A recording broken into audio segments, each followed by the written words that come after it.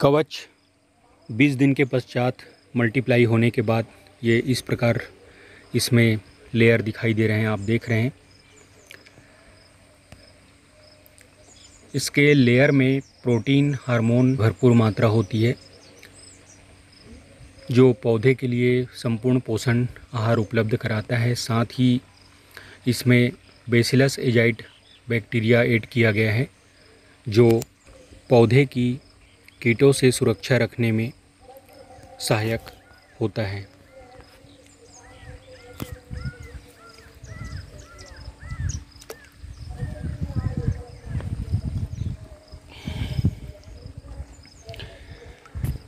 ये हमने मोलेसिस से मल्टीप्लाई किया है। इस कारण से इसका जो कलर है, कुछ आपको रेडिस दिखाई दे रहा होगा। इसमें लालीपन दिखाई दे रहा है।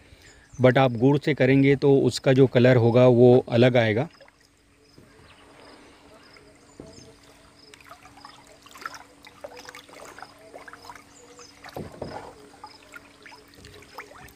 ये मल्टीप्लाई होकर के पूरी तरह से रेडी हो चुका है। इसके बाद में इसे हम अपनी फ़सल पर खास करके स्टेम बोरर की समस्या से हम ज़्यादा जूझ रहे हैं। स्टेम बोरर के अटैक को रोकने के लिए हम इसका इस्तेमाल करेंगे।